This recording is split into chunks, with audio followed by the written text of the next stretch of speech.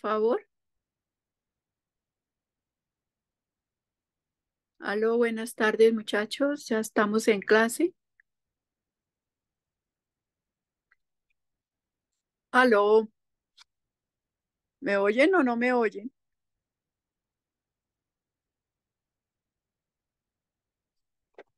Hello, Buenas noches, Cecilia. Sí se escucha. gracias Mario, pero nadie me habla. ¿Si estarán en tema o no? Yo pienso que es mejor que empecemos, porque si no nos atrasamos. Gracias. Sí, pero, o sea, si no, no, necesito saber cómo les fue con el trabajo de la semana. Buenas muchachos, hábleme alguien. Aló, Buenas noches, profe. Buenas noches, ¿cómo estás? Cuéntame. Bien, profe. Gracias a Dios. Bueno, me alegra. Gracias por contestarme. Nosotros habíamos dejado una tarea para esta semana.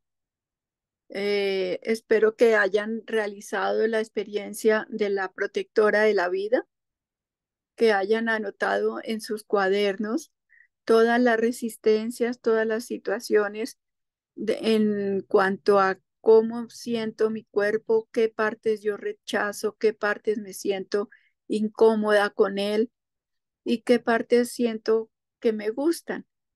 Hacer, hacer el cuadro en el cuaderno, al, al ir haciendo la experiencia, mirar si uno va superando esa situación y cuando salga a la calle o cuando se encuentre con los amigos, de una u otra forma ir cayendo en cuenta si hubo algún cambio en relación a la mirada que tengo de mi cuerpo, a la forma como yo me siento con mi cuerpo. Ese era el trabajo, es el trabajo que quedó la semana pasada. La semana antepasada vimos la del niño y la injusticia. Entonces, eh, espero que estén aprovechando estas herramientas de trabajo. Acuérdense que estas herramientas son para superar el dolor y el sufrimiento, para integrar contenidos que están sueltos en la conciencia y que de alguna manera no Profe, buenas noches. Qué pena interrumpirle la clase. Tranquila, buenas noches, cuéntame. Profe, este, mire, lo era para decirle, eh, qué pena haberme conectado tarde, es que tenemos un pequeño inconveniente con la luz porque nos está molestando mucho, entonces si la luz se va, pues me quedo sin internet. En caso tal que me, me salga de la clase, no es que yo me haya querido salir, es que la luz se nos está viendo mucho, entonces me quedo sin internet. Ah, no, tranquila, hágame el favor más bien de llenar el formulario de asistencia. Ok, señora, muchas gracias. Llenar.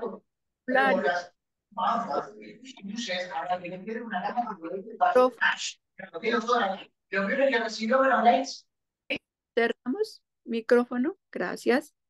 Bueno, Profe, qué pena molestarla. Hay algo que está pasando con lo del formulario. Fui a llenarlo y no se está pudiendo. No sé si es que no han mandado como la, la partecita donde se puede firmar la asistencia, profe. Intenté y se cayó. ok, ya el profe Mario los está escuchando. Miremos a ver el chat. Mm. Ahí ya lo volvieron a enviar. Dice, y volver a llenar ese formulario, por favor, dice el profesor Mario. Por favor, llenar este vínculo. Solo tenemos que pinchar encima de lo azulito y ahí ya inscribimos la asistencia. ¿Ok?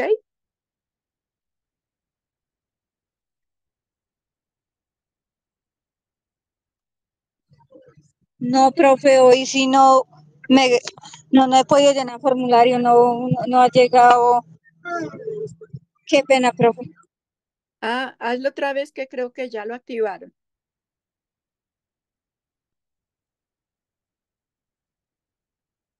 ¿Ya le pinchó encima del color azul del, del link? Acabo el profe de mandar el link. El profe. Gracias. Bueno, ok, listo. Todo el mundo a inscribirse para la asistencia.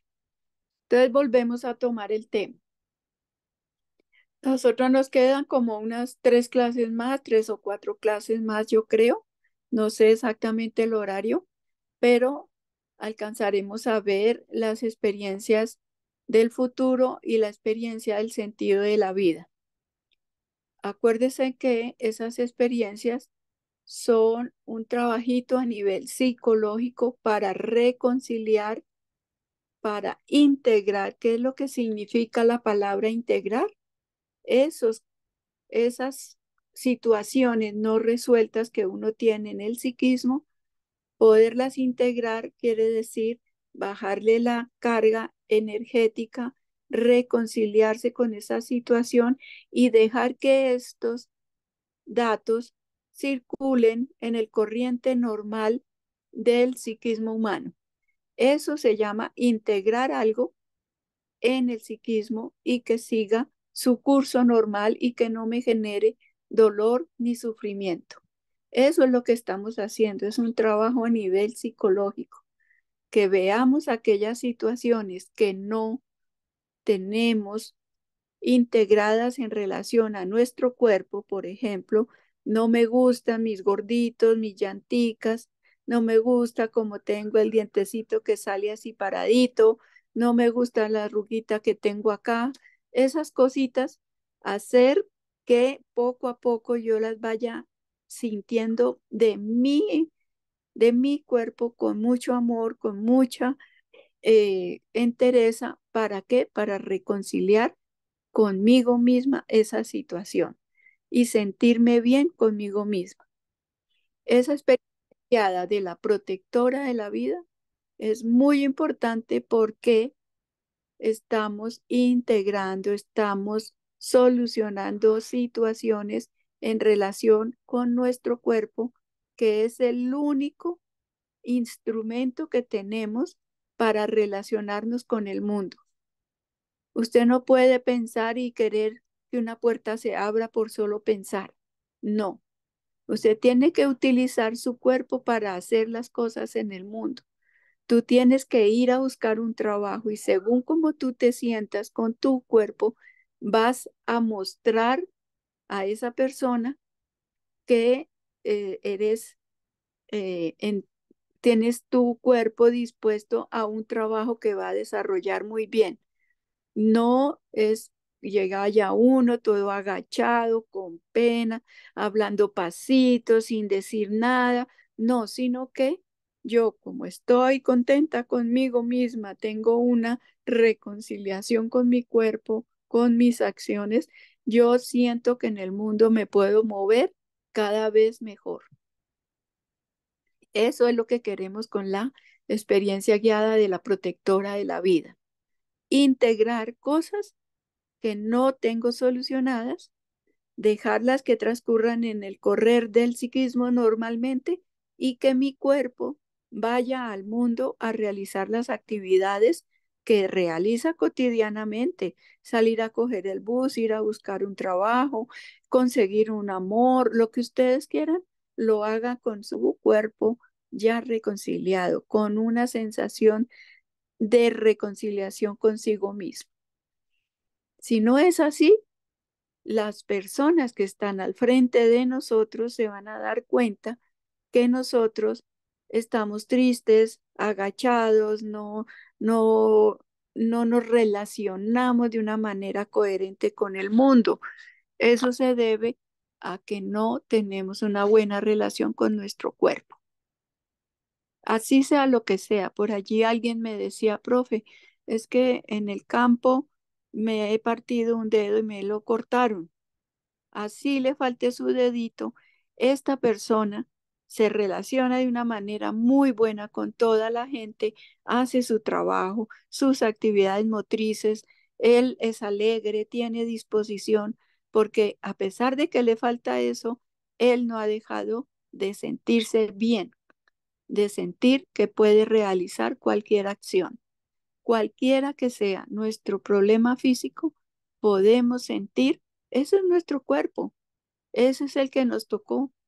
Así sea con una piernita que no, que no tiene bien o que está torcida o lo que sea, ese es tu cuerpo y ese es el perro fiel que te va a acompañar hasta el último minuto de la vida. Y con ese cuerpito es que tienes que moverte. O manejas una silla de ruedas o lo que sea para ser un ser humano útil para sí mismo y los demás. Entonces, eso es muy importante. Si yo tengo una, una enfermedad o alguna cosa, es importante, primero que todo, como dice en la experiencia, acudir a los sabios, acudir a los médicos, acudir a las personas que tú sabes que te pueden orientar. No correr a la droguería que te den una pepita para algo, no, no, no. Acudir a los sabios y no dejar que su cabeza se llene de cucarachas, como dicen los, los abuelitos, de cosas que te hacen sufrir, de imaginaciones que me están mirando, que no me miran, que no me quieren, si a la hora de la hora es verdad que tengo quien me quiera. Entonces, tiene uno en la mente una situación que es solamente imaginada por uno y que eso que imagino me hace sufrir y que eso que imagino no me deja relacionarme con los otros. Eso también es otra cosa que dice la experiencia. Por un lado, lo físico lo atiende la técnica, la medicina, y por otro lado, la parte psicológica la trabajamos nosotros con todas estas herramientas que le damos y además en la medicina también existen las terapias donde uno puede ir, ir poco a poco organizando y queriendo su cuerpo y mejorando la relación con su cuerpo. Eso es lo que quiere decir la experiencia de la protectora de la vida. Además, allí sales de la gruta, coges un poquito de agua del arroyo y la tomas. La, el agua es vida. Hay mucha gente que nunca toma agua. Hay gente que de una u otra forma no accede a ese líquido. Entonces es una forma alegórica de que con el agua que yo tomo, con mucha fuerza, yo voy a sentirme mejor porque el agua siempre va a ser bien recibida por el cuerpo. ¿Hasta ahí vamos bien? ¿Alguna pregunta? Ahora, en este... Bueno, gracias, gracias. Pero me alegra que ya en este momento somos 10 personas. Eh, hace ocho días éramos 30 y algo. Y hace como 20 días, qué belleza, entraron 88 personas. Entonces, ¿qué será? ¿Porque se va acabando el año o que ya empezamos con tu taina, tu turumaina y los buñuelos y la natilla? ¿Será que eso nos olvida los viernes de la hermosa clase de humanismo? Entonces, les recomiendo que le digan a los compañeros que yo aquí los extraño, ¿ok? Para que participen, para que aprendan y reciban estas herramientas que realmente yo sé que les va a servir y que a mí también me sirve mucho compartirlas con ustedes. Y pido profundamente porque las reciban y las pongan en práctica, porque es la única forma de sentirse bien con uno mismo de vivir en coherencia. Bueno, tenemos una experiencia que es del sentido, perdón, del futuro. Esa experiencia la vamos a realizar la próxima semana porque yo estoy desde el teléfono porque sufrí un accidente, se me acabó de caer el computador y se me complicó. Entonces no tengo aquí la forma de pasar la experiencia, pero vamos a tocar un tema muy importante que creo eh, va a sumar a todo lo que estamos haciendo. ¿Alguien me puede decir qué es coherencia? ¿Qué se imaginan ustedes que es? ¿Qué significa la palabra coherencia?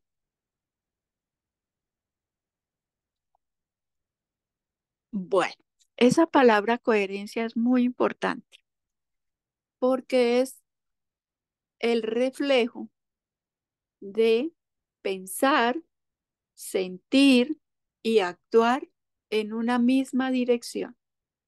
Entonces uno pregúntese cada uno de ustedes, ¿yo soy coherente? ¿Yo pienso una cosa, siento la misma cosa y hago lo mismo que pienso y siento? Esa es una pregunta para anotar en su cuaderno, porque vamos a hacer también una tareita con eso para la semana entrante. Cuando uno se da cuenta que piensa una cosa, por ejemplo, me voy por la mañana a recoger una maleta que tengo en cierto lugar, pero siento que mejor no voy porque yo quisiera más bien parar en la esquina a echar chisme con la vecina. ¿Sí? Y cuando salgo de la casa, me encuentro con alguien y me voy a tomar tinto. ¿Eso será coherente? Queda uno como una veleta. ¿Cierto? ¿Alguien me va a hablar?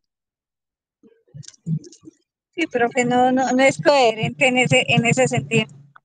Exacto. Entonces, en su cuaderno ustedes van a anotar eso.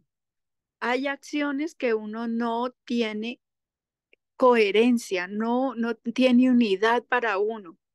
No pienso en una cosa, siento en esa misma cosa y hago las acciones en el mundo en dirección a esa misma cosa. Eso, si yo lo realizo, ordena mi vida, la vuelve coherente.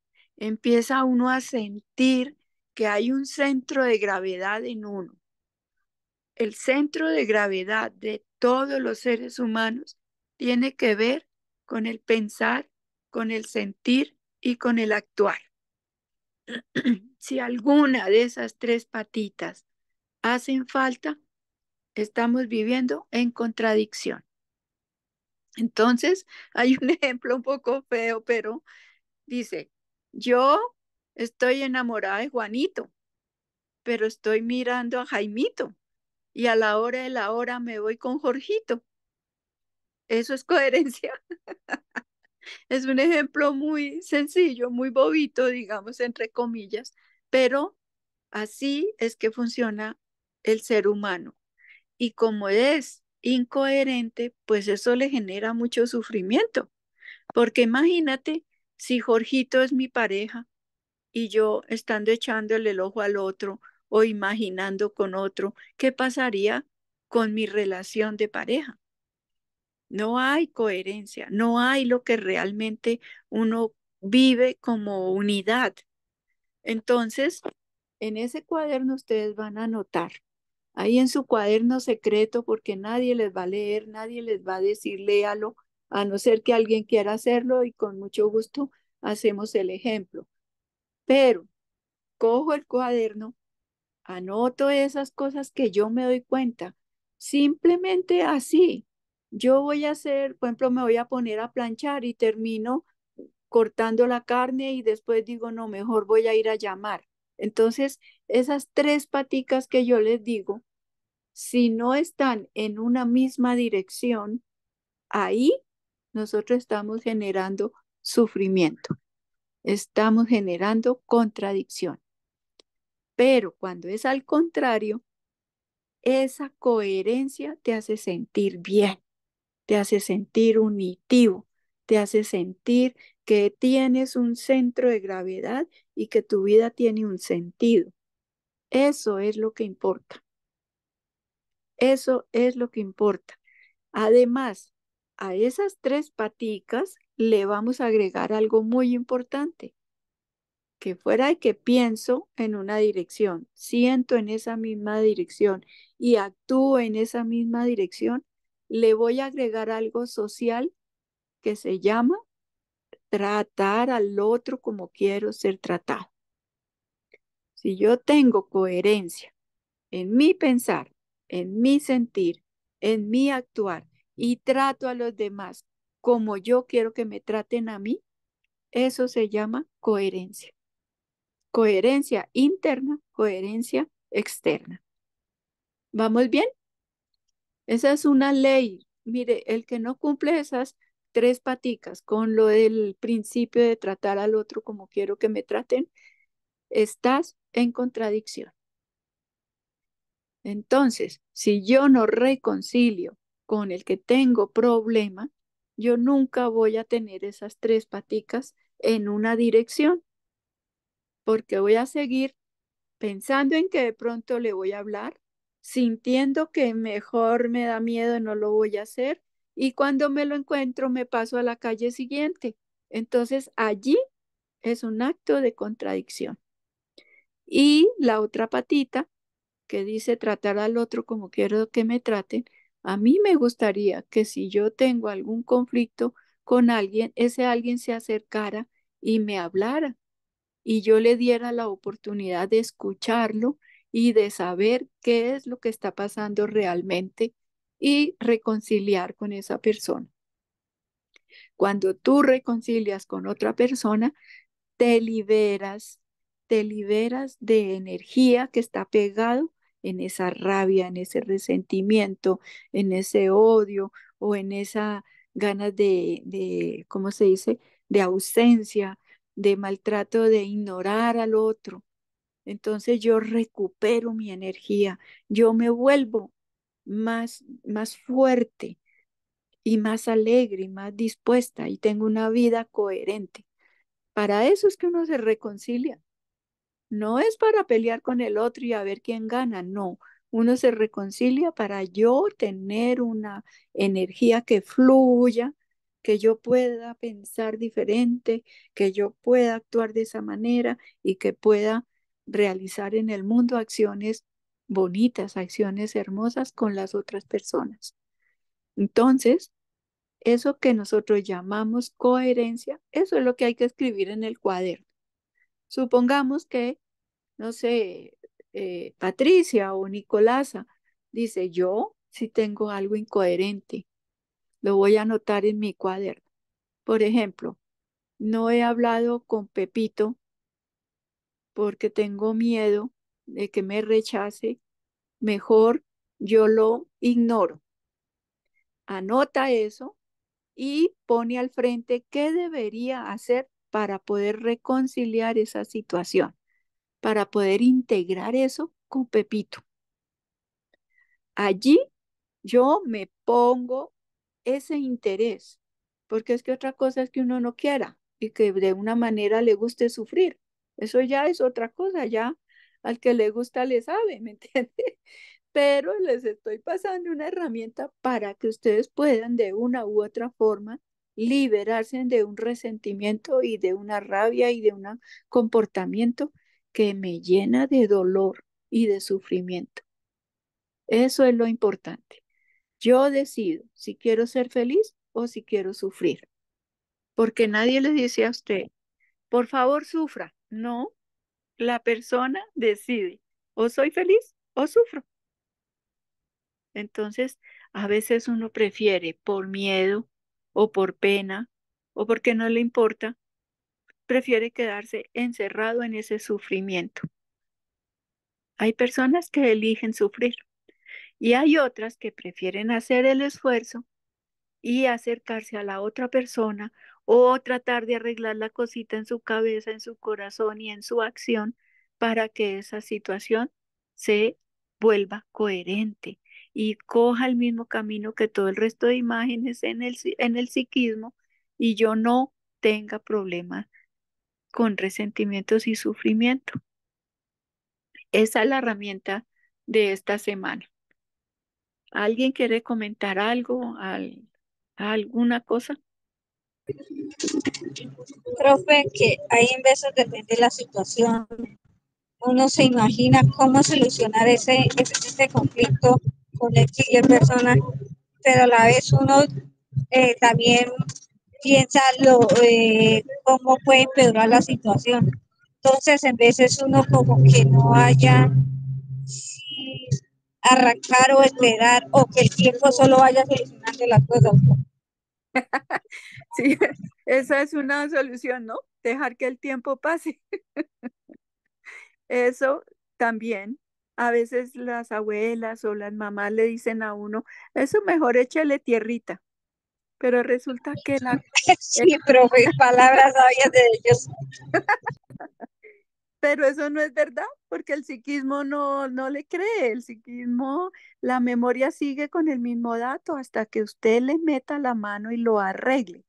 Ahora, puede suceder, pongan atención, puede suceder que yo tengo ese conflicto con la persona, ¿sí? Y esa persona no me pone atención y no le interesa. Bueno, tenemos que buscar la manera de solucionar eso con nosotros mismos. Porque sabe qué pasa tan bonito esto que les voy a decir. La reconciliación no es recíproca. O sea, si esa persona no quiere reconciliarse, no quiere decir que yo no me pueda reconciliar. O si no, yo quedo pegada para toda la vida y después de la muerte, porque el otro no me quiere perdonar, entre comillas.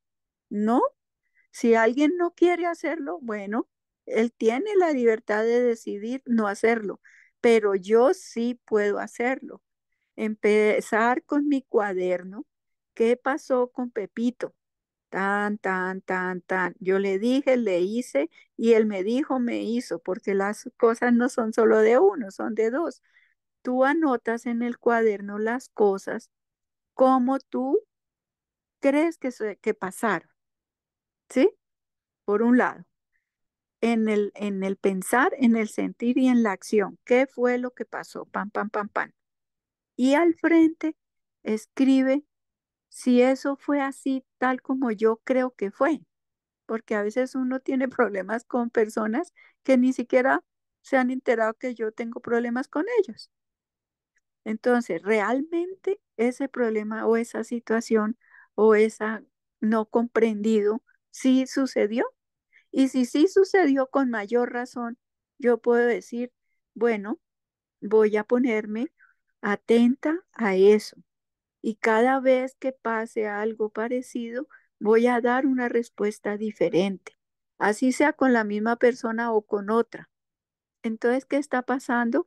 Usted va relajando, bajándole la tensión a esa imagen de tal manera que si te vuelve a suceder algo parecido con él o con otro o con otra, tú puedas dar una respuesta diferente.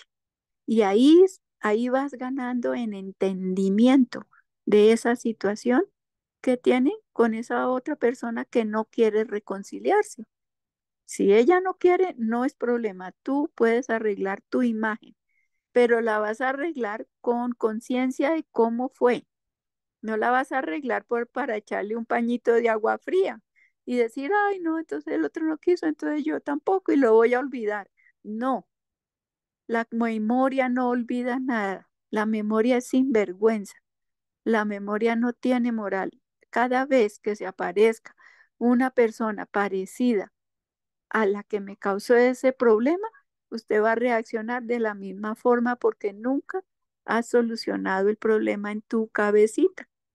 Entonces uno no se puede engañar con uno mismo. Es muy importante eso. Me gustaría el, para las próximas clases poder hacer un tallercito de reconciliación, así con paso a paso, para que ustedes lo tengan como un cuadrito. De pronto lo voy a escribir y se lo envío con la profe Jenny para que ustedes lo llenen y sigan haciendo su trabajo así se acaben estas clases por este año o lo que sea que pase con nosotros. Ustedes con ese cuadro lo van llenando y lo van poniendo situación por situación hasta que en un momento de la vida ustedes van a sentir que han recogido esa energía que estaba pegada a esas situaciones conflictivas y se sienten más alegres se sienten más felices, se sienten unitivos, empiezan a pensar y a sentir y actuar en una sola dirección y empiezan a sentir que debo tratar al otro como yo quiero que me traten.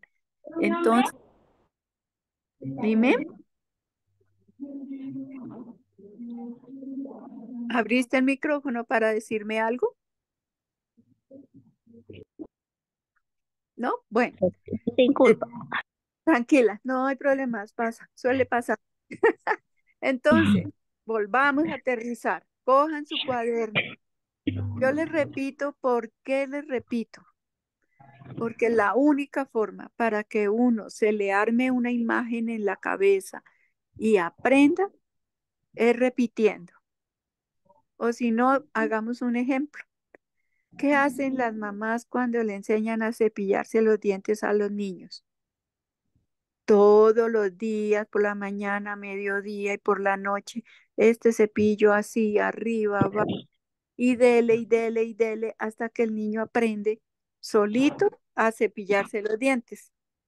Pero si tú haces eso una sola vez, el niño nunca va a aprender a hacerlo. Cuando tú aprendes a escribir, te repiten cien mil veces la M con la A y la M con la A, mamá. ¿Sí o no? Y todo el día están escribiendo la palabra mamá y la escriben y la ponen en la pared y la dibujan y le hacen y lo rojo y amarillo y verde. Esa es la única forma de aprender, repitiendo las cosas, leyendo las cosas, escuchando las cosas. Entonces, esos cuadros que yo les digo que armen en su cuaderno, yo se los repito para que ustedes lo puedan armar más fácil en el cuaderno y puedan desarrollar el ejercicio. Pero yo les voy a mandar un cuadrito con, en este, en este puente que tengo tiempo, lo armo y se lo envío a la profe Jenny para que ellos se lo envíen, ¿ok? Y lo llenan ustedes, lo cogen y lo van armando. Y después me cuentan si quieren, si les sirvió de algo, si no. Ahora, ese cuadrito también lo pueden enviar a sus amigos, pueden hacerlo con sus hijos o que sus hijos lo hagan allá juiciositos en su cuarto por si no quieren que se enteren de sus cosas. Todo, todo eso es tratar al otro como quiere ser tratado. ¿Les parece?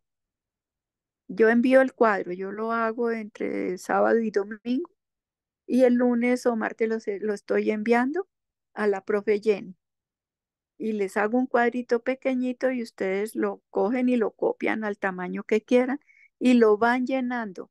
Y al frente les voy a colocar experiencia guiada, qué experiencia podemos hacer. Y se las envío con la profesora Jenny. Eso está en las cartillas, eso no es que yo me lo estoy inventando, no, eso está en las cartillas, eso también hay cosas que yo hago en terapia, pero eso eso es otra cosa que yo hago, pero yo procuro entregarle lo mejor de las herramientas del humanismo para que podamos salir de esa situación de incoherencia que a veces vivimos. Por no decir que en, en el día 24 horas y media estamos en incoherencia. Pero bueno, hay que tratarse con cariño, con amor, con respeto porque si tengo 40 años tratándome de una manera, no voy a cambiar de un día para otro. No lo puedo hacer en dos horas, ni siquiera en una semana. Hay que hacerlo con mucho amor, con compasión con uno mismo y los demás, y ponerse en el tema de transformarse. Si queremos ser una persona feliz, el que no quiera ser feliz, pues a escoger el otro camino, que eso sí es más fácil, porque es más fácil no hacer nada, ¿no es cierto? Y más sufriente. Qué triste. Bueno, preguntas muchachos. Sí, profe. Eso, pues referente a lo que la profe dice, también, o sea, en muchas personas vemos y pues son cosas que pasan que sobre el sufrimiento a veces nosotros formamos, digamos, decimos, estamos indispuestos con otra persona. Y más es el problema que nosotros nos armamos en la mente que verdaderamente lo que es el problema como tal, ¿cierto? Que a veces es tan chiquito y la mente de uno va diciendo, bueno, esto, sí, tengo problemas, es, y va cogiendo uno como más ese, ese rencor con esa persona que lo que verdaderamente es el problema que uno, sí, tiene. Tienes toda la razón porque resulta que a uno le queda más fácil imaginar y aumentar las situaciones que realmente verlas y enfrentarlas como son. Entonces, lo que tú dices es perfecto. La imaginación debe servir a uno para progresar, no para agrandar los problemas, no para generar situaciones más conflictivas, porque es que eso sí somos unos duros para generar problemas. y eso que tú dices es verdad, es verdad. Así que primero... Es más... Dime. que uno a veces es más sí como lo que se forma uno de uno que lo que verdaderamente por eso es que uno muchas veces tiene que tratar de, o sea, como decir las cosas, enfrentar las cosas y decir las cosas de frente y, sí, Sí, imaginarse uno tantas cosas. sí. El, ahí en otro momento les hablaré también de, de la cadena del sufrimiento, porque cuando uno deja que la imaginación vuele, uno puede imaginarse cualquier cosa. Puede usted ver a su pareja ahí al frente hablando con, con una monja, pero si usted deja que la imaginación vuele, usted se imagina que están poniéndole los cachos o se imagina cualquier cosa, pero así incoherente. Y uno se acerca y le dice, el marido le dice, mira, eh, te presento a la hermana que es de la comunidad de allí y venía buscándote. o algo así, y uno ya imaginó, ya construyó un mundo de sufrimiento que no vale la pena. La mayoría de las cosas que a uno le pasa tiene que ver con la imaginación, porque uno no quiere sufrir, entonces imagina muchas cosas. Imagina para bien, imagina para mal. Eso que tú me dices es verdad. Uno agranda las situaciones y después, cuando ya están tan grandes, no sabe cómo manejar, no las sabe llevar, no las sabe superar y le queda muy difícil aceptar que ha cometido un error. Termina mucha gente incluso haciendo cosas locas como matando a alguien, como dándole un golpe a otro, cosas que por imaginación, no porque estén pasando realmente. Entonces tenemos que estar atentos. Estamos atentos a que la violencia no nos maneje, porque si no, como dicen, nos come el tigre. Cada vez que yo pueda reaccionar, reacciono con violencia, esa no es la forma. Por eso cuando hablamos de coherencia, hablamos del trato al otro y el cómo yo me trato a mí mismo. No podemos dejar de que esas tres paticas alguna falte y el principio del tratar al otro no puede faltar en ninguna acción. Si faltan esas cuatro cosas, una sola falta, ya estamos en contradicción. Eso sería hasta este momento. Les voy a dejar una tareita que es coger el cuadrito para hablar de lo coherente e incoherente en pensar, sentir y actuar y al frente colocar la situación que quiero solucionar y al frente de eso escribimos cómo voy a hacerlo. Me voy a acercar a él o primero lo voy a organizar en mi cabeza y voy a tratar de entender qué fue lo que pasó, cómo así uno llore, patalee, lo que sea, hasta que yo entienda realmente qué sucedió. Y eso no quiere decir que si tú reconcilias, vas a ir a decirle al otro, ya me reconcilié contigo, entonces sigamos en esto y el otro no cambia y yo sigo ahí. Ese no es una acción coherente. Cuando yo me reconcilio, decido si vuelvo en una condición diferente o me voy, me aparto de eso, ya reconciliada, me aparto de esa situación porque no me sirve. Yo tengo que separarme de la incoherencia del otro o de la otra. ¿Por qué? Porque ya me perdoné, ya me, ya me integré con todos esos problemas. De pronto el otro quiere hacerlo o la otra también podría ser muy bonito, pero no quiere decir que si yo me reconcilio tenga que volver al mismo ámbito a soportar cosas que yo ya superé. O sea, no echar para atrás nunca, a no ser que haya un cambio real en las dos o tres o cinco personas que son las del problema. Porque pasa en las parejas mucho que yo me reconcilio, yo perdono y vuelvo al mismo rollo de siempre. Y a los dos días estoy otra vez en el mismo problema. Eso no quiere decir que se haya solucionado nada. Entonces, uno debe estar atento cuando en un lugar o una persona me genera contradicción, yo debo poner terreno para poder pensar, para poder decidir qué voy a hacer con esa situación, para poder integrarla. Y cuando uno hace ese trabajo, uno ve a la otra persona tal como es, si es violento, si hace, si dice mentiras, todas esas cosas que pasan, yo lo miro y me pregunto, ¿quiero eso para mi vida? ¿Quiero seguir en esa situación? Y uno dice, no, yo no quiero seguir en eso porque yo quiero ser feliz. Y empieza uno a ganar en autonomía, empieza uno a ganar en libertad y no tiene por qué estar bajo la sombra de algo o de alguien que te maltrata, que te utiliza o que de aquí a mañana genera un problema que te da mucha contradicción. Entonces también el poder darme cuenta que allá no debo estar porque ese no es el lugar donde yo soy feliz.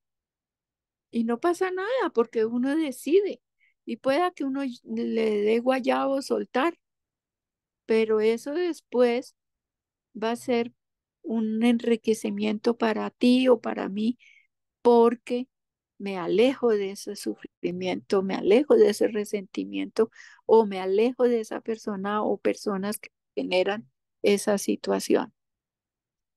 Vamos a ver cómo trabajamos un poquito más eso de la coherencia, del centro de gravedad y cómo yo me siento cada vez más feliz, ya me siento mejor, me siento en unidad, me siento como un ser humano útil. ¿Sí? Eso es importantísimo. Hasta aquí yo creo, hagan su tareita, sigan haciendo la experiencia de la protectora de la vida. Yo les envío el cuadrito y dentro de ocho días vamos a hacer la experiencia del futuro para ver cómo es ese futuro, cómo imaginamos nosotros nuestro futuro y si ese futuro también me puede generar sufrimiento, temor, miedo, angustia, porque no sé cómo va a ser ese futuro, cómo lo construyo. Entonces ahí viene la, el otro trabajito, para ir ganando en felicidad, para ir ganando en, en coherencia, en sentirse uno centro de sí mismo, como dicen, coger el timón de mi vida y llevarlo en un sentido coherente, en un sentido que me haga que sienta yo internamente que crece en mí la felicidad y crece en la persona que está alrededor o las personas que están a nuestro alrededor. Bueno, los que tengan la cartilla, creo que es en la página 67, los invito a que lean ahí. Ahí habla de las experiencias guiadas y lean, pónganse a leer esas cartillas y llenarse un poquito de datos para que tengamos más profundidad cuando hagamos intercambio. ¿Les parece? Profe, una pregunta, ¿cuáles cartillas? Yo no sé si ustedes les dieron cartillas o no. No, no. ¿Guías?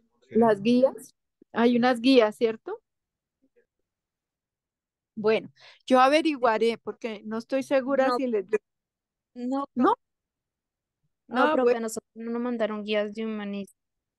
Ah, de pronto no, no, no hicieron un convenio con cartillas, no sé, pero yo les puedo armar el cuadrito, se lo envío y ahí cada clase ustedes van a quedar con un escrito concreto y ahí vamos haciendo un, un paquetico para ir organizando mejor nuestros temas, ¿ok? Voy a averiguar, no, no, no sé cómo. Listo. Bueno, muchas gracias a No, todos. profe, es que y feliz mes de noviembre y que todo les salga bien, ¿ok? Paz, fuerza y alegría para todos. Por favor, dile a su compañeros, Gracias, profe. con mucho gusto, a sus compañeros que los están. Chao, Chao, profe, esté bien. cuídese. Chao, chao. Chao, profe. Chao, compañeros. Feliz noche.